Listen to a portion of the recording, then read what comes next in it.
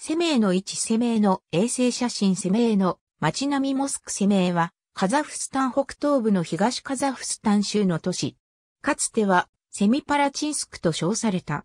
1999年の統計で人口は26万9600人。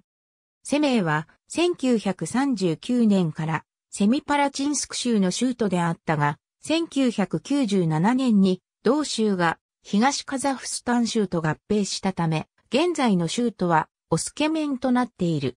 1718年にロシア人がイルティシュ川沿岸に城塞を築き、初めての入植を行った。城塞の原型となった仏教寺院跡の7つの建物から、城塞は7つの部屋の町を意味するセミパラチンスクと名付けられた。城塞はイルティシュ川の氾濫に苦しめられたため、1778年に 18km 上流の現在の位置に移設された。城塞の周囲にはカザフ人遊牧民とロシアとの間の河川交易に携わる住民が居住し、小規模な都市が形成された。1910年代末にトルキスタンシベリア鉄道がセメーまで敷設されると中央アジアとシベリアの中間にある交通の要所として繁栄した。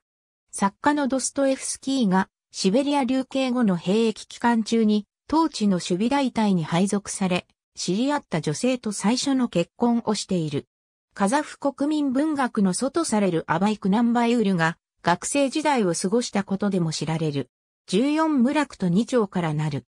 1949年にセメイの西方 150km の草原地帯に核実験場が開設され、1989年までの間に通算456回の核実験が行われた。うち116回の実験は大気中で行われたため、生命をはじめとする周辺地域に多くの放射性効果物が散布された。放射能汚染に起因すると思われる健康被害に苦しむ住民も多い。2006年、生命で中央アジア諸国によって比較条約、セメ条約が締結された。詳細は、セミパラチンスク核実験場を参照。ありがとうございます。